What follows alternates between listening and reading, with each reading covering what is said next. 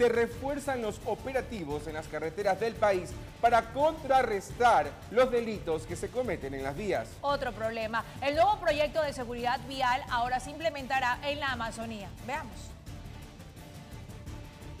Como todos los lunes, se realizó la Mesa Permanente de Seguridad del Transporte para realizar una evaluación de las recientes acciones adoptadas en las carreteras para evitar el cometimiento de delitos. Trabajando de manera articulada con las fuerzas del orden es la provincia de Los Ríos, la provincia de Santo Domingo y actualmente hoy ya sale el nuevo proyecto de seguridad vial que lo vamos a hacer en las vías de la Amazonía ecuatoriana. Hemos encontrado gran cantidad de combustible por contrabando, los cuales los carros están retenidos y las personas están procesadas.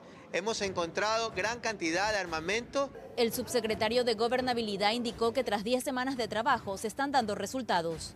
El Consejo de la Judicatura y la Fiscalía han presentado una estadística en los cuales hemos visto 416 personas que han estado privadas, donde le han encontrado sustancias sujetas a fiscalización, combustible, armas. Hay vías en donde aún hay denuncias de robos a los transportistas y se está coordinando acciones en esos puntos. La zona del empalme, la eh, conexión con Manabí, usted sabe que lamentablemente la inseguridad migra de un lugar a otro y por eso las acciones que se están tomando, como las policías de control en carreteras móviles, que son fundamentales, porque lamentablemente la inseguridad migra, pero se están tomando medidas complementarias, como por ejemplo ya terminar la iluminación del anillo vial de Quevedo, la conectividad y el Internet, porque cuando nosotros perdemos la señal telefónica, ahí es donde prácticamente también actúan las bandas delincuenciales. Mientras los operativos entre la Policía Nacional, Fuerzas Armadas y Comisión de Tránsito del Ecuador